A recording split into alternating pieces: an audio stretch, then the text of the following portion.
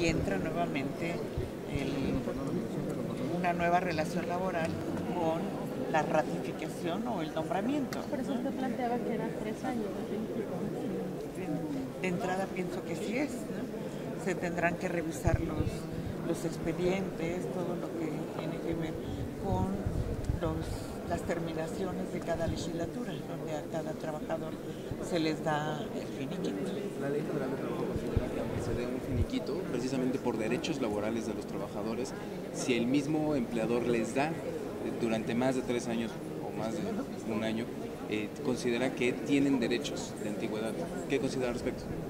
Los, lo va a analizar, les, yo les, se los dije desde la mañana, lo va a analizar el jurídico todo, sin ningún problema. Lo, a lo que tenga derecho se le, va a, se le va a otorgar.